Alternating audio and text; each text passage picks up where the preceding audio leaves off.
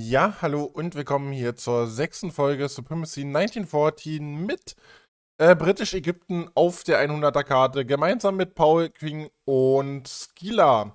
Ja, wir haben Tag Nummer 7 und wir stehen auf Platz 11 mit 52 Siegpunkten. Ja, wir sind auch leider wieder ein... Ach nee, wir sind aufgestiegen. Sehr gut. Ich dachte, ah ja gut, äh, zu Tag 5 sind wir wieder leicht gefallen. Ähm, ist aber nicht dramatisch. Wir haben jetzt hier wieder ein bisschen Geländegewinne verzeichnen können. Wir haben jetzt hier ähm, französisch Äquatorialafrika angegriffen, ähm, haben auch gut gesiegt. Wir können mal in die Zeitung gucken. Äh, das sieht eigentlich alles recht gut aus. 4.000 zu 48.000 Verlusten. Da können wir auf jeden Fall zufrieden mit sein. Es kam jetzt auch keinerlei Gegenwehr mehr. Von daher gehe ich davon aus, dass wir jetzt auch die letzten Territorien noch angreifen werden. Und damit können wir auf jeden Fall sehr zufrieden sein ähm, und werden dann hier auch recht schnell Geländegewinne verzeichnen können.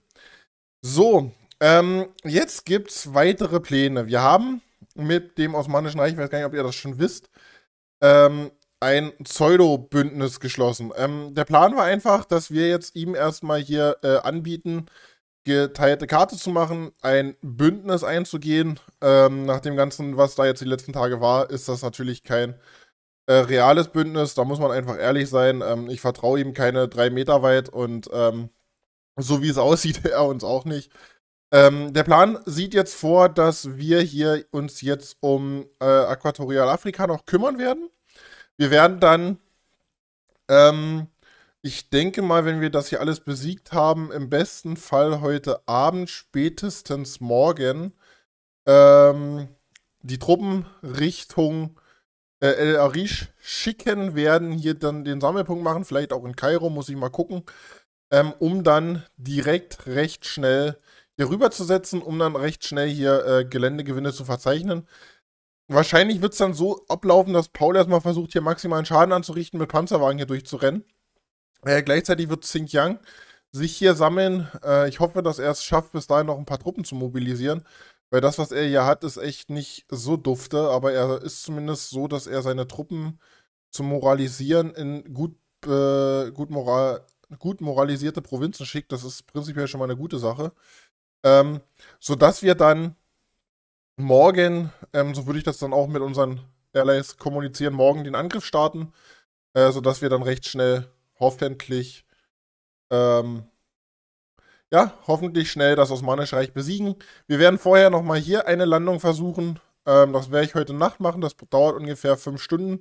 Ich habe so geplant, dass ich das so gegen 0 Uhr wahrscheinlich starte. Dann wäre um 5, um 6 die Landung durch. Ähm, in der Hoffnung, dass das dann auch erfolgreich ist, dass wir da dann recht schnell äh, Griechenland schon mal besiegt haben. Dann sind die 70.000 Truppen von Griechenland auch weg.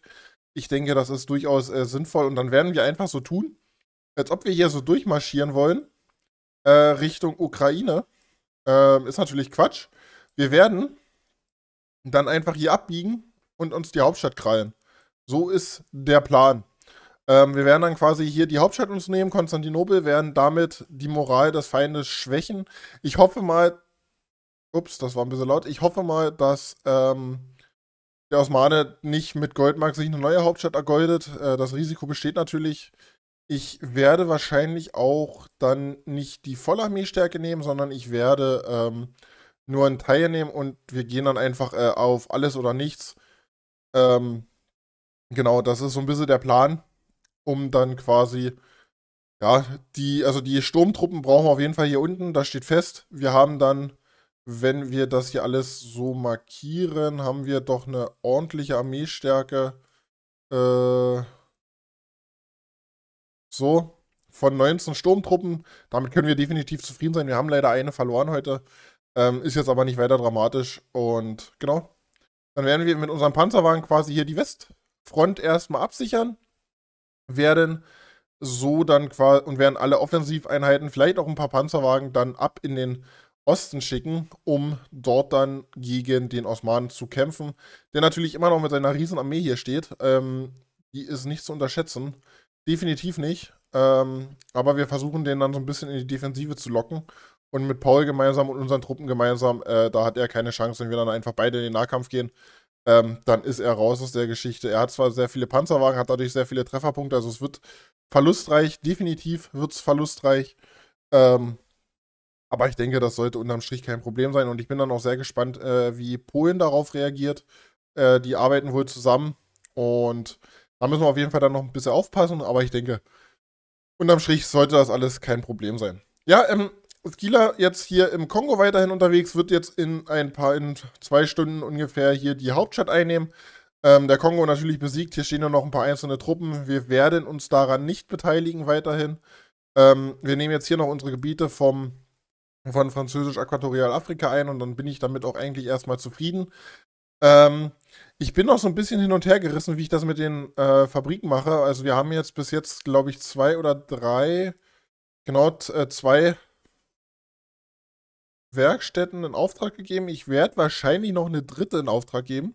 Ah ne, wir haben drei. Okay, dann würde ich sagen, bauen wir einfach mal drei Fabriken. Ähm, ich denke, das ist durchaus sinnvoll. Ähm, und dann können wir damit, denke ich, auch erstmal gut ins Midgame starten. Vier Fabriken ist, denke ich mal, noch zu viel. Das können wir noch nicht machen, aber wir könnten hier in der Doppelstahl mal eine Eisenbahn bauen dann sollte auch morgen trotzdem das alles ausreichen. Wir können ja noch ein bisschen Öl verkaufen. Wie sieht es da aus? Oh, das sieht nicht gut aus. Äh, aber wir nehmen einfach mal hier die 18.000 mit. Äh, ist jetzt nicht weiter dramatisch. Ist nicht so viel, ist natürlich schade. Aber der Handel ist leider hier auf der Karte auch nicht so. Oh, doch, bei Holz funktioniert es eigentlich recht gut. Ja, dann werden wir mal für Holz ein Angebot reinstellen. Äh, 11,6, 11.6. Holz. Äh, machen wir mal 3000 knapp und dann verkaufen wir das für 27,5. Auch Holz. Und auch so, dann kriegen wir da ein bisschen Geld hoffentlich für und können dann ähm, damit wieder ein bisschen was einkaufen. Ich denke, das ist durchaus sinnvoll. Genau. Und damit würde ich auch sagen, wird es auf jeden Fall die nächsten Tage jetzt sehr spannend. Und wenn euch die Folge gefallen hat, lasst doch gerne einen Daumen nach oben da, würde mich sehr, sehr freuen. Ansonsten Danke fürs Zuschauen. Bis zum nächsten Mal. Tschüss.